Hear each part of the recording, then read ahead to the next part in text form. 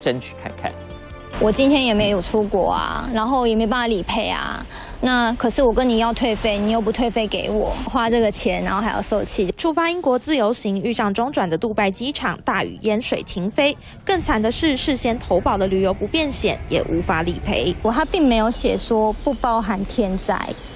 我觉得，如果他今天不包含天灾的话，应该要写清楚，让大家知道。投诉人原定四月十九号晚上十一点五十五分从桃园机场起飞，在杜拜机场转机后抵达英国。十九号当天晚上九点办理登机时，才得知机场内四百多名旅客无法到杜拜转机，只能另外找其他航空公司订票。不过临柜购买飞往英国的机票，一个人要价七万多，最后只好取消整趟行程。英国饭店费用和看歌剧的门票等等。粗估损失大约台币两万多，而出发前向保险公司购买的旅游不便险却完全无法理赔。出国保旅游不便险一定很安心，一定可以有保障。遇到这件事情就发现说，其实想要获得理赔没有那么容易。在跟保险公司过程中呢，也受了很多的气。而实际查询旅游不便险合约，关于天灾理赔部分，只有被保险人在国内住处，因为天灾毁损损失金额超过二十五万，或是目的地发生天灾才可以理赔。赔，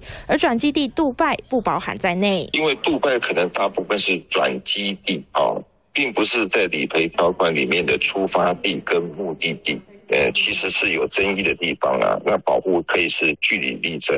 保险专家表示，虽然目前各家的旅游不便险只在出发地和目的地发生天灾才会理赔，不过因为转基地也是必经路线，条款仍有模糊地带，就看保险公司如何和被保险人协调解决。三星高雄配华台报。